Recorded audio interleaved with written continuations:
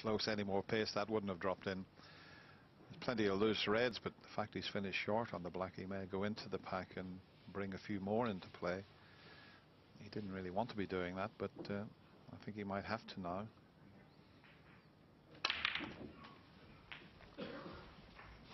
There's uh, one into the middle pocket, and the Reds are perfectly placed now. And uh, well, if he wins this frame, he wouldn't give Marcus any chance. Stephen Hendry, of course, developed the shot from blue into the pack to keep the white in open play. But I think Ronnie was one of the first players I've seen do it off the black, where all of a sudden he plays it in such a way when he hits the pack, Nine. the white stops. He's uh, excellent at that shot.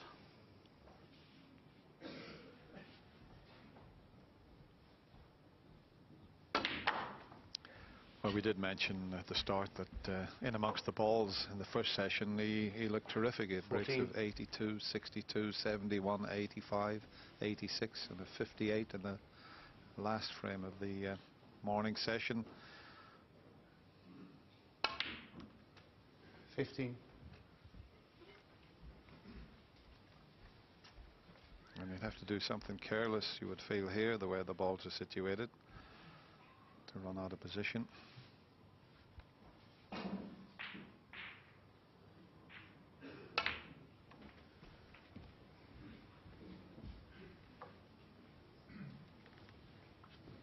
Twenty. Another beautiful positional shot from Ronnie there, taking the cue ball around the back of the red with a lot of side. cue extension. Well, the red he missed in the middle. Let's have a look. Oh, well, there wasn't much room past that red. As I say, he was concentrating on the cannon, but that was very tight.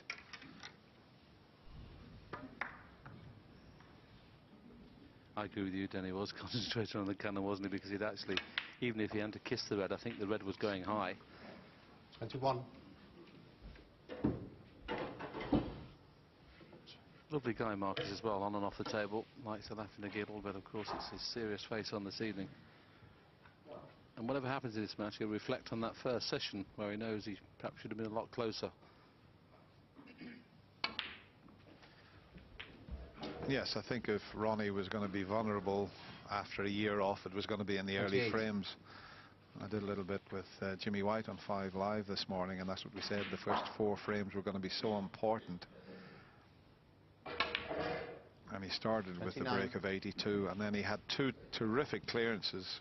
Marcus should have won the frames, but Ronnie cleared up twice, which was uh, superb. So he's out there playing as if he'd 34. never been away.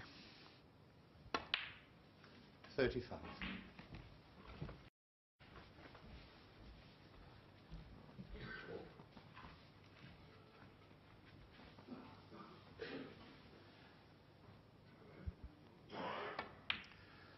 was chatting to John Higgins in the players' room, Willie, and he was saying, you know, he didn't feel that Ronnie would have any problem. 37. It's not like a boxer that's out for 12 months and you come back again, or a, a footballer 38. where you haven't played for 12 months in the main arena.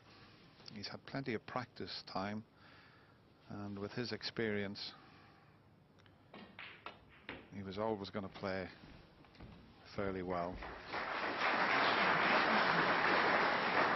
He's been active on the exhibition circuit in the last two or three months, Dennis, hasn't he? He's played in, I think, a couple of the exhibition matches with yourself and, and Jimmy and that, so that's uh, good practice in itself.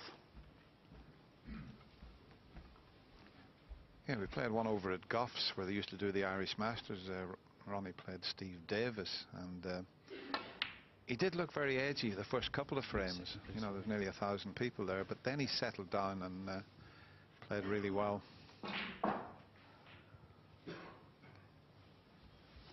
Just having to wait while Jan Verhaas gets the pink as near to its own spot as possible in a direct line behind the pink spot without touching that red. Steady as a rock, Jan as ever. Doing his fifth final this year. Uh, Yeah, Willie? ca- catching up with Stephen Hendry, isn't he? He- He only won seven. is one of our better referees, though, without any shadow of doubt. Ronnie took a little bit of time to check that when the pink did go near its own spot, whether the pink would pot. Obviously, that tells us it doesn't. 51. I presume the red just above the pink will pot, so this is obviously is a now fabulous chance to win this opening frame. 56.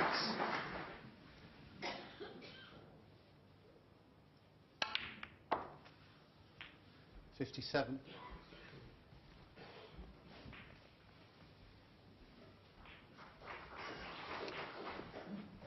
Quick glance at the scoreboard just to see how many he needs to secure the frame.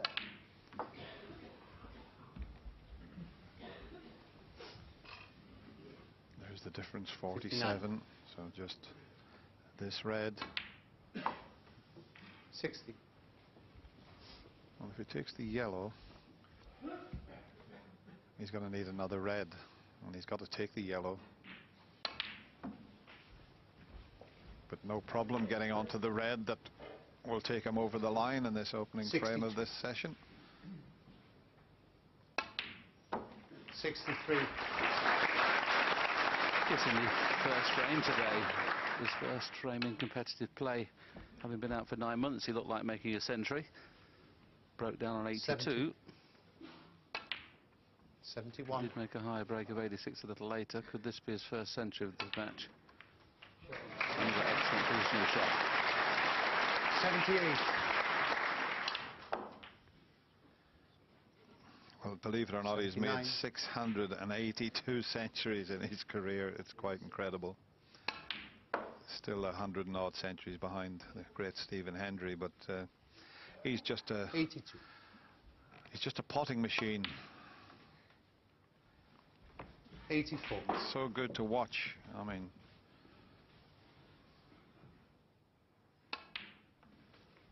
Eighty-seven.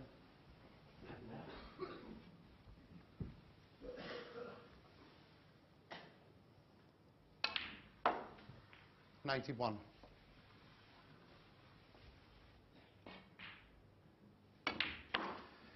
we've had four centuries so far. Ricky 96. Walden leading the way with a magnificent break of 140. All the way around the houses to try and get onto the black. hundred and two. Doesn't matter about the black.